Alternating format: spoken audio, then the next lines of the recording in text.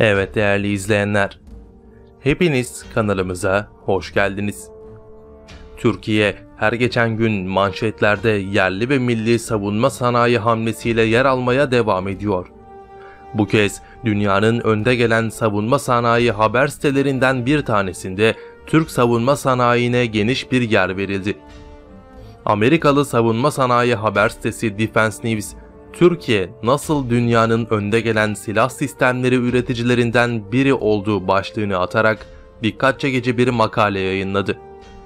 Makalede Türkiye'nin savunma sanayi konusunda bu kadar başarılı olmasına sebep olarak Amerika Birleşik Devletleri, Almanya ve Fransa gibi savunma sanayi üretiminde önde gelen ülkelerin uyguladığı modelleri uygulaması gösterilse de biz bu durumun aslını sizlere aktarmak için bu videoyu hazırladık. Türkiye'de savunma sanayinin kurulması için ilk girişim Osmanlı İmparatorluğu dönemine kadar uzanıyor. 17. yüzyıla kadar güçlü bir konuma sahip olan savunma sanayimiz 18. yüzyıldan bu yana Avrupa'daki teknolojik gelişmelerin dışında kaldı ve 1. Dünya Savaşı'ndan itibaren etkisini tamamen yitirdi. Böylece Cumhuriyet'in ilk yıllarında önemli bir savunma sanayi altyapısı bulunmamaktaydı. Bu alandaki faaliyetler Türk Kurtuluş Savaşı sırasında Ankara yakınlarında yeni tesislerin kurulmasıyla sınırlı kalmaktadır. Savunma sanayinin genel sanayileşme ve kalkınmanın bir parçası olduğu görüşüne sahip olan Cumhuriyet İdaresi, devletin sanayileşme ve dolayısıyla savunma sanayisini ilk planlama döneminde desteklemiştir. Ülke içi uçak üretimi gibi faaliyetlere rağmen iç ve dış koşullar nedeniyle güçlü bir altyapı kurulamamıştır. İkinci Dünya Savaşı sonrası dönemde Cumhuriyet'in ilk yıllarında başlatılan savunma sanayindeki faaliyetler, Amerika Birleşik Devletleri ile ikili ilişkilerin geliştirilmesi ve Türkiye'nin NATO üyeliğiyle alınan dış askeri yardımlar sonucunda durdurulan devlet desteği eksikliği nedeniyle durma noktasına geldi. Bununla birlikte Türkiye'nin 1960'larda karşılaştığı bölgesel sorunlar 1963 ve 1967'de Kıbrıs'ta yaşanan sorunlar, 1974'te Kıbrıs Harekatı ve harekatı takiben yaşanan silah ambargosu, ulusal kaynaklara dayalı bir savunma sanayisinin gelişmesini gerektirmiştir.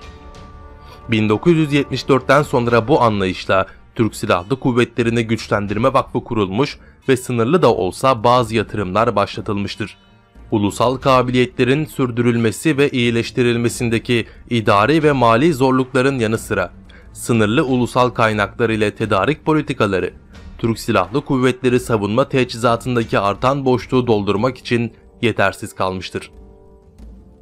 1921 yılında Ankara'da hafif silah ve topçu onarım tesisi ile mühimmat ve mara mühimmat ve marangoz işleri için bir tesis, 1924'te Ankara'da yeni bir mühimmat tesisi, 1930 yılında Kayaş'ta bir kapsül tesisi, 1931'de Kırıkkale'de bir elektrik santrali ve çelik tesisi, 1936 yılına gelindiğinde barut, tüfek ve topçu tesisi, 1943 yılında Mamak'ta gaz maskeleri için bir tesis kurulmuştu.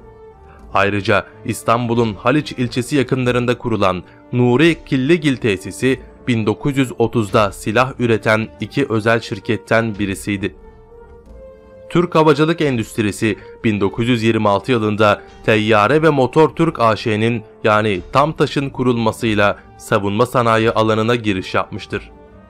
Kayseri'de kurulan Tamtaş tesisleri 1928 yılında üretime başlamış Tesiste 1939'a kadar toplam 112 uçak, 15 adet Alman Junkers A-20S, 15 adet US Hawk avcı uçağı, 10 adet US Flatkilling eğitmeni, 15 Alman Gotha irtibat uçağı üretilmiştir. Havacılık endüstrisindeki ilk büyük girişim 1941 yılında Ankara Türk Havacılık Birliği tarafından bir uçak tesisi kurulmasıydı.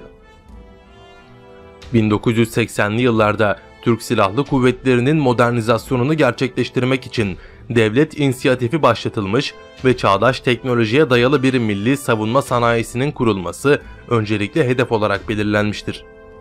Bu yöndeki ilk adım devlet teşebbüsü olarak Savunma Teçhizatı Müdürlüğü'nün kurulmasıyla atıldı. Ancak devlete bağlı statüsünden kaynaklanan eksiklikler başarıyı engellemiş ve bu teşebbüsün tüm mal varlığı 3238 sayılı kanunla 1985 yılında kurulan Savunma Sanayi Müsteşarlığına devredilmiştir. Bu kurumun adı günümüzde Savunma Sanayi Başkanlığı olarak değiştirildi.